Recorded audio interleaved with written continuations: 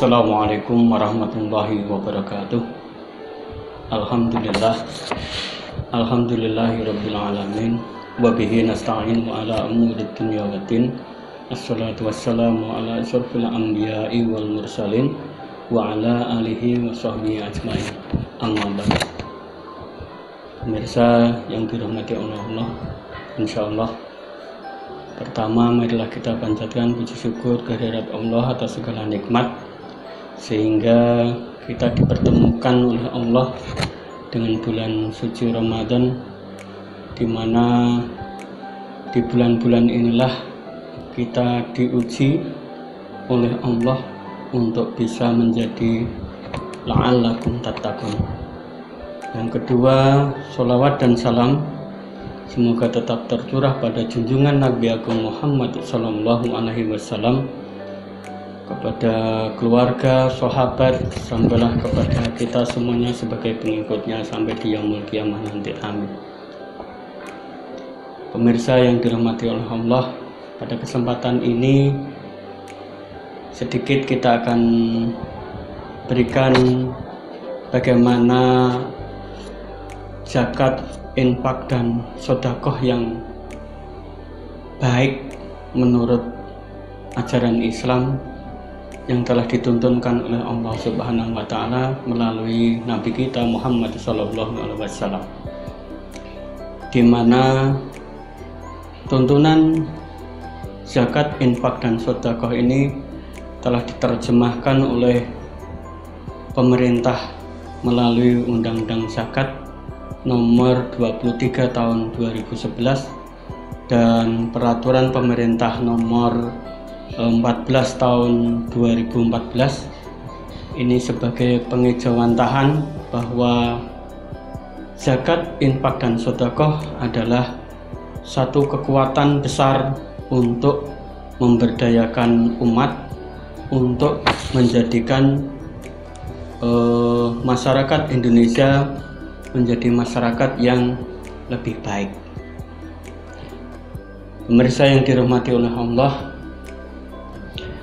seperti yang pernah dikatakan oleh Allah di dalam Al-Quran, bahwa zakat di dalam surat At-Taubah 103 dikatakan bahwa zakat itu sebagai sarana untuk mensucikan harta kita.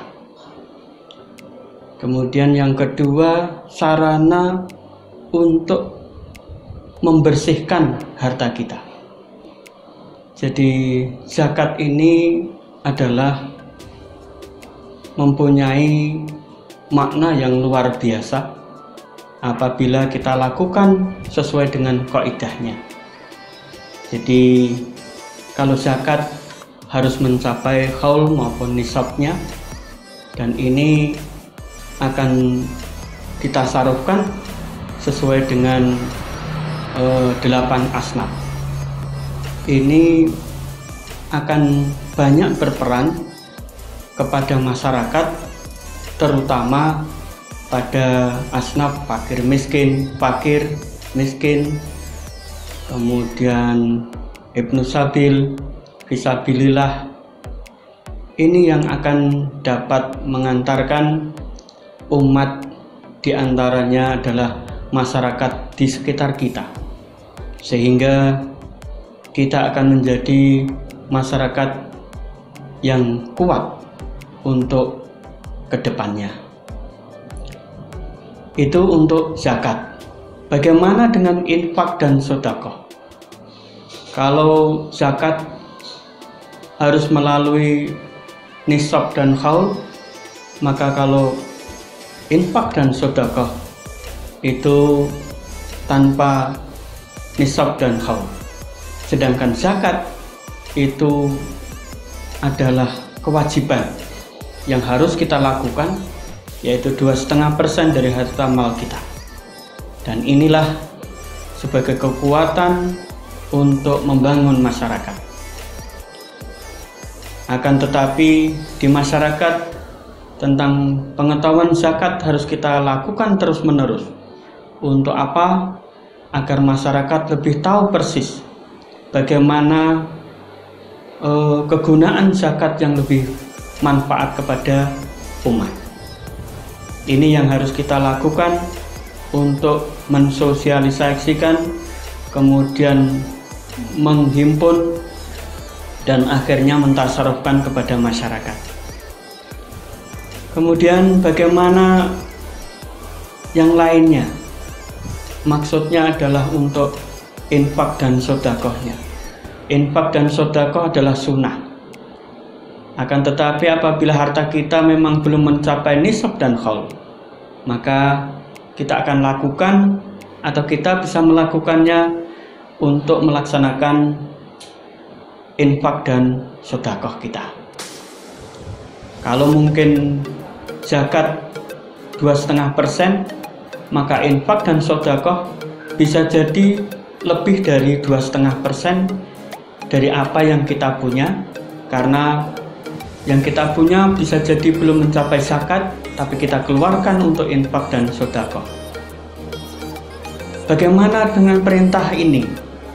Perintah di dalam zakat sudah jelas. Kenapa sampai harus ada khud min amwalihim? Ini adalah karena supaya masyarakat atau supaya umat Islam benar-benar nanti menjadi umat yang baik sehingga terhindar dari zakat yang kotor karena zakat adalah untuk membersihkan. Bagaimana dengan infak dan sodakoh kita? infak dan sodakoh kita berada di surat Al-Baqarah ayat 215 yang insya Allah berbunyi Bismillahirrahmanirrahim.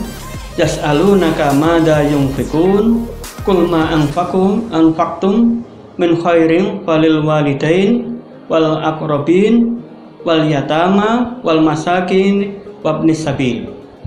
Jadi mereka bertanya kepada Muhammad tentang apa yang harus mereka infakkan. Katakanlah harta apa saja yang kamu infakkan hendaknya diperuntukkan bagi kedua orang tua, kerabat, anak yatim, orang miskin, dan juga orang yang dalam perjalanan. Ini hal yang sangat penting bagi kita untuk bagaimana supaya ini bisa lebih bermanfaat bagi umat. Bagaimana dengan apa yang akan kita keluarkan untuk ini, untuk infak dan sodako? Maka Allah telah menuliskan di dalam uh, Al-Quran, surat Al-Baqarah juga. Dalam dua ayat, satu surat Al-Baqarah, surat yang satu lagi di surat Al-Hadid, ayat 11. Al-Baqarahnya adalah ayat 245. Mangdalladzi yuqridullahu qardan hasana fayudha'ifahu lahu ad'afan katsira. Yang kedua di surat Al-Hadid ayat ke-11 Mangdalladzi yuqridullahu qardan hasana fayudha'ifahu lahu walahu ajrun karim. Dua ayat yang luar biasa. Barang siapa yang mau meminjamkan kepadaku kepada Allah, maka Allah akan ganti pinjaman itu dengan berlipat ganda di Al-Baqarah. Di Al-Hadid akan aku ganti dengan pahala yang mulia. Maka marilah kita berzakat, berinfak, bersodakoh untuk mensucikan harta kita dan mengangkat saudara-saudara kita menjadi umat yang lebih kuat ke depannya baik secara ekonomi maupun secara agama.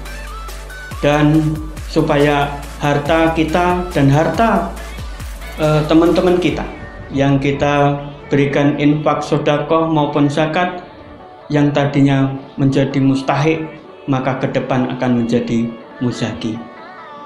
Dan di antaranya yang paling kita lakukan adalah di Jawa Tengah Pak Gubernur men mencanangkan Jogo Tonggo.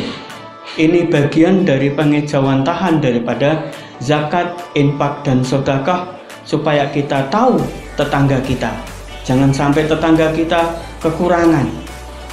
sehingga dengan zakat infak dan sodakoh kita akan jogo tonggo jaga sedulur dan jaga umat sehingga kita menjadi umat yang kuat harta kita akan menjadi berkah semuanya akan menjadi barokah demikian yang bisa kita sampaikan semoga Allah meridhoi kita semua di bulan suci Ramadan ini menjadikan barokah bagi kita semua dan Allah menguatkan kita di kondisi pandemi COVID-19 ini kita menjadi lebih baik untuk bisa bersama dengan masyarakat umat yang barokah.